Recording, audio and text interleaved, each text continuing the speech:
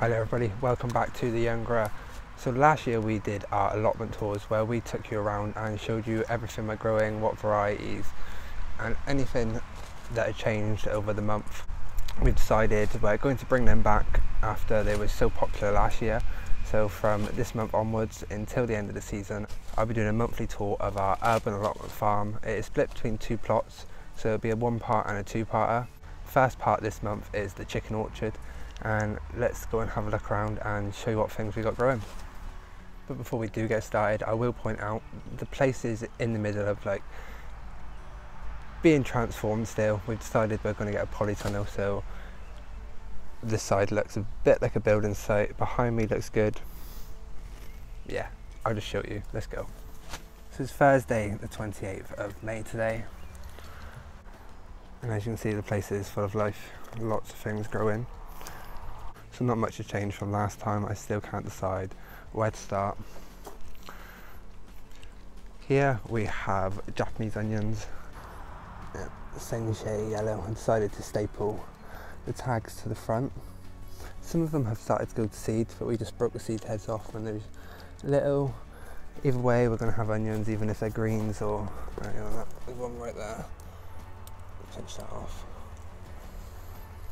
But some are really big and they're really starting to fatten up and we are feeding them once a week with the nettle and comfrey tea. Over there is a flower bed but we'll go down and look at that after. As you can tell we are growing a lot of onions this year. This is because we are trying to become self-sufficient in onions. Over there is some fork, fork horde chard. Um, it's got a sweet stem, it's from real seeds I believe I pronounced the name right. If not, it's on the screen anyway. We've had some brambles come up and we've got to get the gloves and get them out because this place used to be, well, it was all covered in brambles last year. So just a couple out of what there was is really good. And over here we have more onions and again going to seed The name of this one has gone. I believe they are Red Cross. Never grown this variety before. I was meant to get some Red Baron to grow and I just didn't get them. They did really well last year and hardly any of them went to seed. But they are looking very good. And last year when I snapped them off earlier, they seem to just bulk up the bulbs and they're fine. May not store as well, but they're still fine. Then here we have shallots and the variety I'm not too sure. Yeah I've not tagged them. And then here is a, a solo monobulb of elephant garlic that I got sent to me by moderators on allotment bible. Then we have some turnips I planted. And there's some narcissiums at the back if I pronounced that right. Some more shallots and then there's another poppy coming up over there as well. Oh, and there's some um, cauliflower I planted in between the shallots, so hopefully when we harvest the shallots then the cauliflower can get big. I'm going to try and move through everything as fast as I can just so I can show you everything at the beginning of the stage before everything starts to really grow. So here we have planted a crown prince. It's actually in an old water tank, I think what used to be in a loft somewhere. Drilled some holes in it, put some canes so it encourages it up to the top of the shed and it'll grow over the shed.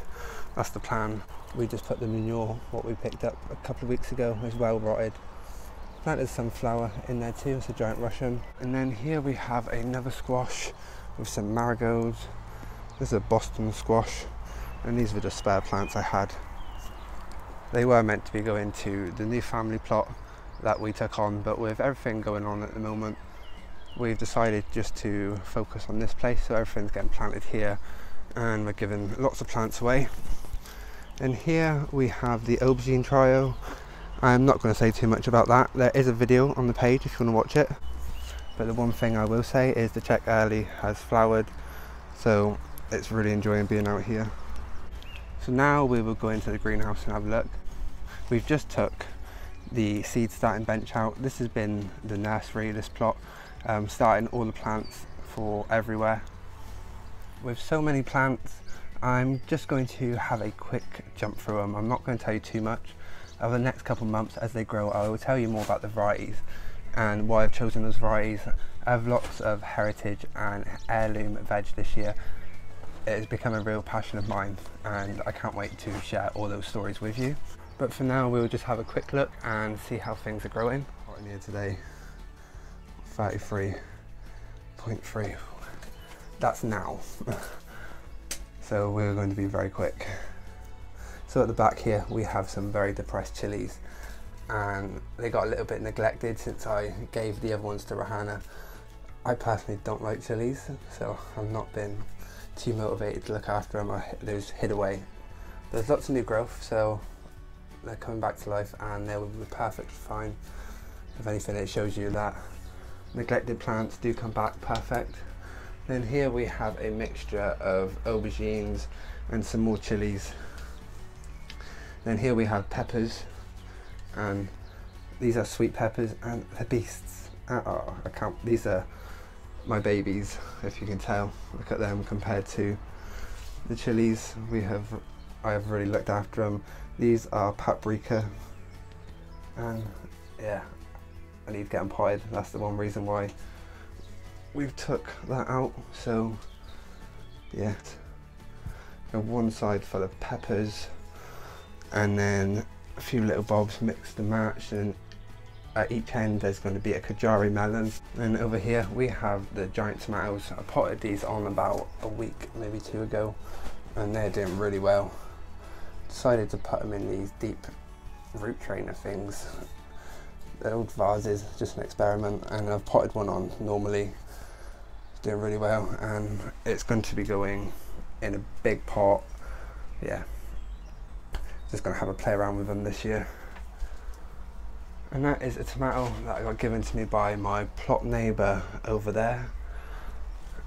And there's a crystal lemon cucumber there a crystal apple cucumber and there's a Wyatoma I believe it what I can't pronounce it. I'm not good at pronouncing some things. Yeah it's from real seeds. Got some of them planted outside. And there's two loofahs. One is going to be planted outside and another one is going to be planted in a greenhouse or poly it's going to be planted somewhere inside. Haven't decided that yet. Then we have some pear drop tomatoes. And then here are I believe they're crystal lemon cucumbers that I didn't label that will just get planted somewhere over the next few months you will notice I'm a bit of a free spirit when it comes to planting I like to start all the plants that I know I want and I like to do extra so I can give stuff away. And then I just plant things where I feel I want to plant them. At the time, I've got knowledge over the last year of how big certain plants get. Sometimes they get bigger than I expect, but it's all part of the learning and I find the more you plant in one bed, it brings a diverse range of bugs and it's one of the reasons why I love doing organic and it's less work. Got some bright light chard up there that looks very neglected. Now I need to pot on and we have some calendula, only a few of them come up. And these are dahlia cuttings. I did actually record a video for this, but I forgot to click record on the main part. Yeah, so that hasn't happened. And then over there are some more Jiffy pellets to start off my next lot of brassicas. I'm going to do some more kohlrabi and some more kale and there are the calendula drying that we will use to make some calendula salve and I will do a video on how to make that later in the season and once I have enough of the flowers dried to make some have a drink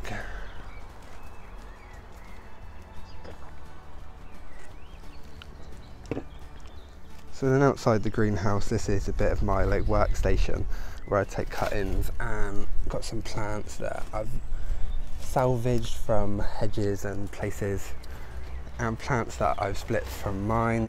These are all geums down here and there's some herbs there my plant neighbour brought up to give to the chickens but there's lots of roots so I split it, repotted two of them and cut the greens off for the chickens. And here we have our leeks. This was a bit of a experiment this year. It's, yeah, there's a lot of dead foliage, but they are looking good and they are quite thick as well. I just got two packs of Musselburgh leeks, sprinkled them in this tray. One of the trays has holes in, the other one doesn't. Yeah, um, normally I multi-sow my leeks, so I thought I'd try this way and then we'll dunk them in water, let all the soil come off, separate the roots and then plant them that way. That's the plan, but it's a bit of an experiment this year, so we'll see how that goes. Solid there that I did for the chickens, so I'm going to give that to them very soon. We'll head down that way and I'll show you that in a sec, but before we go, let's just have a quick look here. This is a bit of a building mess at the moment. Beautiful? Not beautiful. but we have all our manure and compost bags and some air pots. They're the tulips.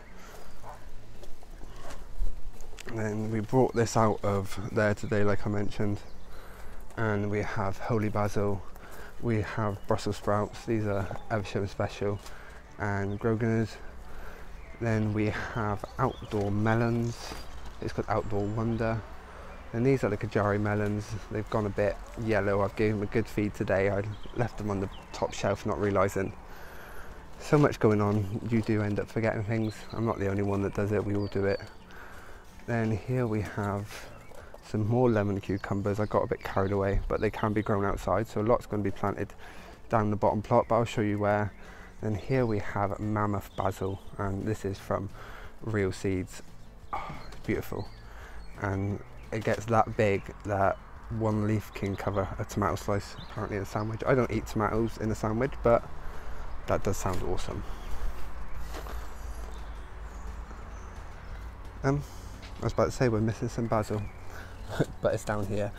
We have lots of different basils this year. We have cinnamon basil, and then we have finissimo, fin yeah, that basil, and all our basils from real seeds this year. And I haven't done anything special to grow them. I've just put them in a line in soil, slightly covered them over, watered them, pricked them out, and I'd like to put a few plants in a pot. I'm a multi-sower and yeah. That is all them. Down there, there is a compost area being built. The video is being made for that, so you will see more about that once it's done. Now let's head down that way.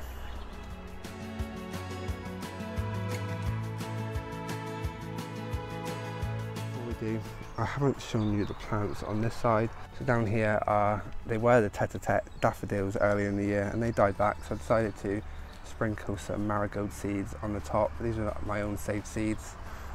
And then I'll prick them out later on and leave some in there to flower. And this is a Salvia Hot Lips, one of the cuttings I took earlier in the year. So here we have some basil, or some calendula that is self-seeded, and a marigold. Some more marigolds, another self-seeded calendula, and I've planted one of them there, and planted a few of them like around the plot. And then here we have one of the mammoth basils, and as you can see, they're getting a lot bigger. And I've planted a cherry pear drop tomato with a little wigwam in between and then some I think this is holy basil next to it and some other marigolds in here in this pot I am leaving this to go to seed it self-seeded just over there so I dug it up I forgot the name I will try to put it on the screen but it's used as a green manure but the flowers are beautiful so I would like some to actually add to the flower bed as the wildlife loved it. And over here we've planted a bit of a, a random combination. So we have another crown prince and some basil. I've just put this down here out of the way. I thought I actually lost it. The other ones up over there. Uh, They're cucamelons, angry cucumbers, I like to call them. And the proper name, if I've spelt it right, is Meliphaenia something like that. And then next to it we have a Sibley squash and again these were spare plants so I thought I would try and train them up over the chicken run. The roof's not been done yet because of lockdown and stuff. So I thought they're going to die if I don't plant them. Let's put some manure into the bottom and plant them. But it seems to be doing good. Lots of new flowers and yeah. Then we have a mixture of dahlias here that need to be planted up. Most of them I've planted over there, what I'll show you in a moment. And a mixture of flowers, some petunias and calendula, lobelia I think underneath. And then there's the same again for that one. Then we're going to walk down Potato Alley. I've always wanted somewhere that I can call Potato Alley and this has become it. So we have lots of heritage and heirloom potatoes we did a video earlier in the season planting these. So if you're curious to know what we're growing, go over there. There's multiple colours, there's, yeah, a big range and I do show you the colour of the potatoes in it. Most of them are grown in 30 litre bucket and they're 36 litre polypots. And this here was our tile pond. It has currently been dismantled because it's getting moved to the back because of the polytunnel. And then we have our tile wall and in this we have some flowers planted there then we have giant Swiss peas they are seeds I saved myself last year and they are doing really well and it's encouraged me to try and save as many more seeds as I can this year because it's free food that's absolutely brilliant and next to it we have runner beans and again these are seeds I've saved myself and I've planted some cosmos in there so hopefully that will fill out the bottom and then yeah, it'll all go up. Planted about two to three plants. Hurricane, I've got good results for that last year, so I'm doing it again. Still got stuff to plant in that one. I may do the Greek gigantic runner beans, I don't know. We'll find something to go in there. And then there we have a mixture of flowers and weeds.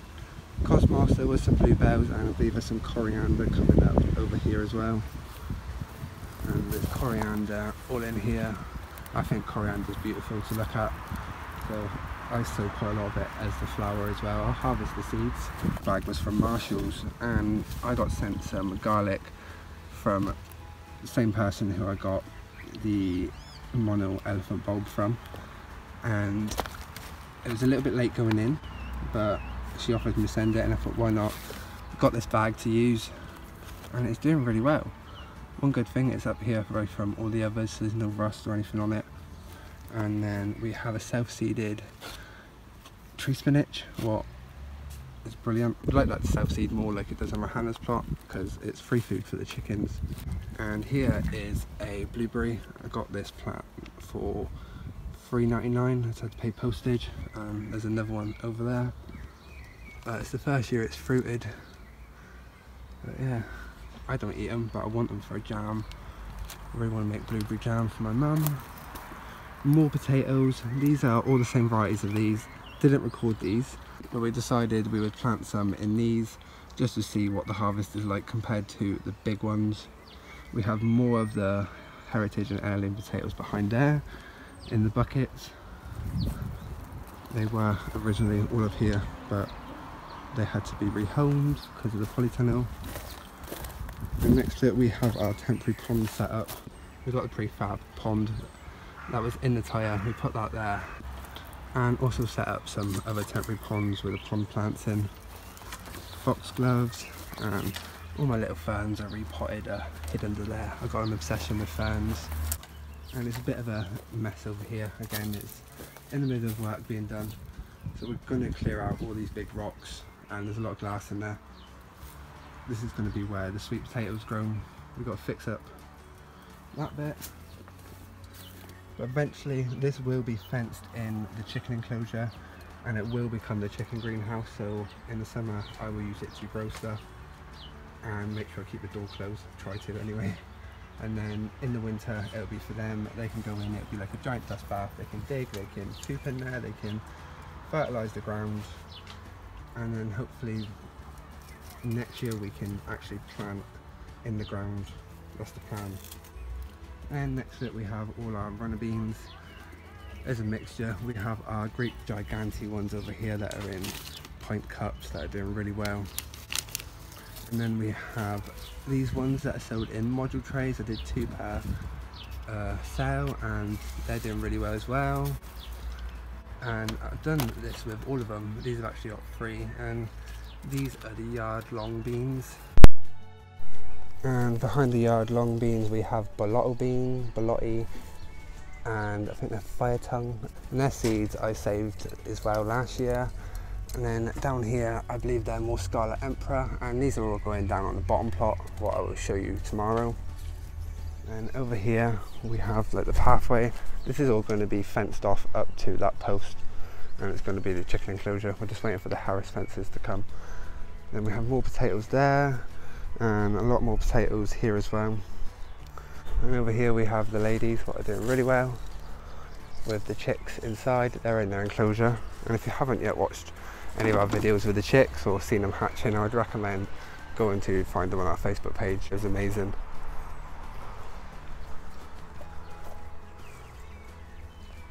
But we have four ladies out here, and there's Lady B, I won't say her real name, and then she has her chicks. Let's go in quickly and see them.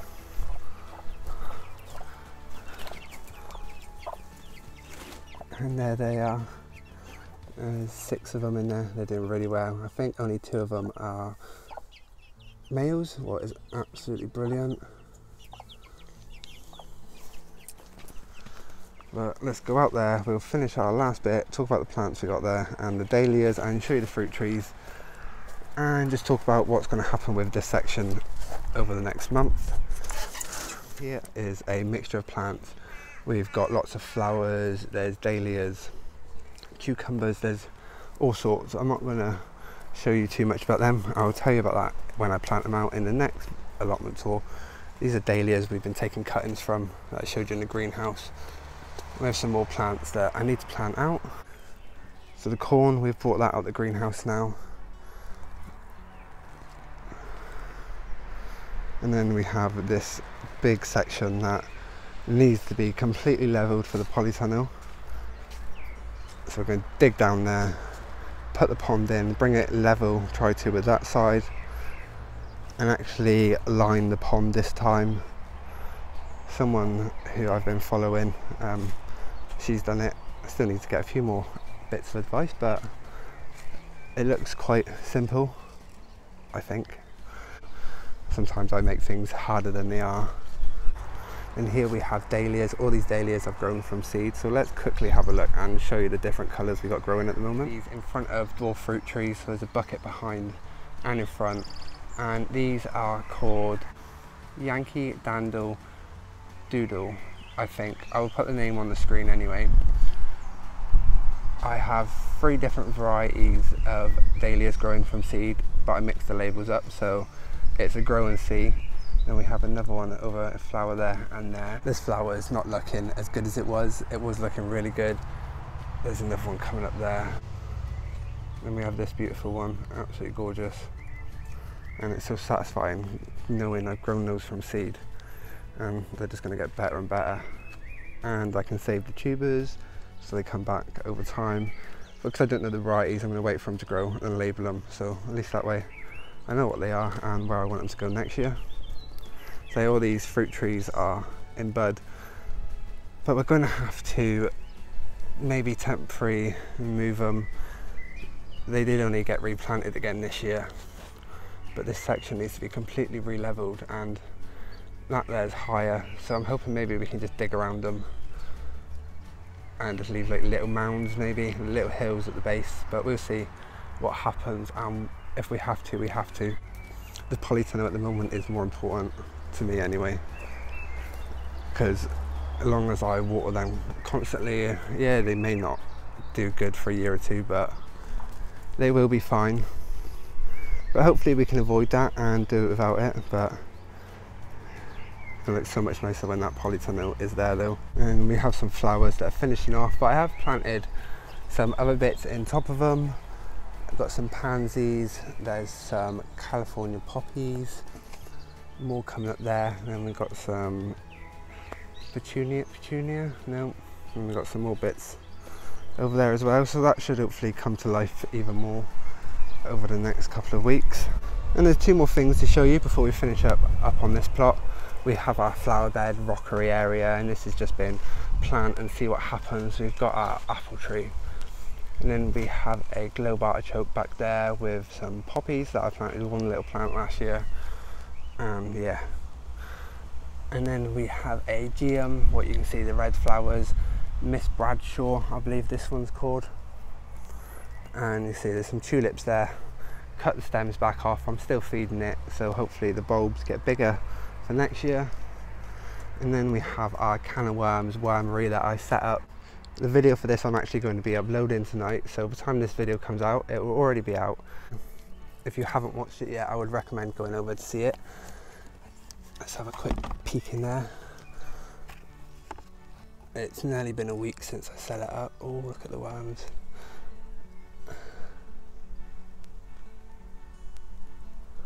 they're doing really good. They'll be settling into their home over the next couple of weeks and I'll slowly feed them and hopefully they'll start breeding and fill it up. I was just about to finish up and say that is everything to show you up here at the chicken orchard but then I forgot about these. So there we have some comfrey that I've left for the wildlife and then we have rhubarb in that tyre. This tyre is a hardy kiwi. It's one you can eat the skin and I thought it was dying because I brought it here and potted it from my home garden where it's coming back to life. Hannah noticed it, what is absolutely amazing. So hopefully that will cover that. And then next to it we have another flower planter and we have some lobelia and that is the Anna, yeah, I planted it as one up by the greenhouse. Then this one here is Lady Stratheden and it's another geum. I fell in love with the geums and it's actually started to flower today perfect timing and it is absolutely beautiful I didn't think I had one of these. I can't remember a yellow one last year. I was sorting out the tyre planter up there and the plant label next to it said same thing and I looked and it did have a little yellow flower. So yeah I may have two of them I think that is everything to show you up here on the chicken orchard. I don't think I have missed anything. If I have missed anything and there's something you noticed I didn't show you, please comment and I will try and talk about it on the next video or I will try and make a separate video. So I think I have brought these videos back at the best time because so much is going to change over the next couple of months. It's going to be great to see how it does and how it all works out. I'm going to make lots more little videos throughout the season try to anyway. I'm not going to promise anything. If I get the time to make something, I will. I hope you enjoy this video if you've either watched it on Facebook, YouTube or Instagram. And if you have not yet subscribed, liked or follow our channel, please do. Um, you'll be notified when we upload videos and I would appreciate the support. And I hope these videos can show and encourage you to grow something a bit different, step out your comfort zone or do something different from what the back of the seed packet says I do not follow instructions. That's one thing I do not do. I'm stubborn. I like to do things completely different. I always have. But it pays off. Not all the time. You find your own ways of doing things. You find what works for you, but you don't know unless you try.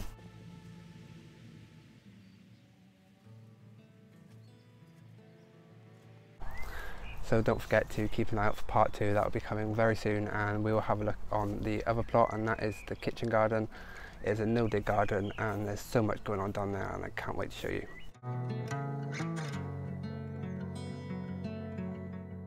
So thank you all for watching and we'll see each other soon.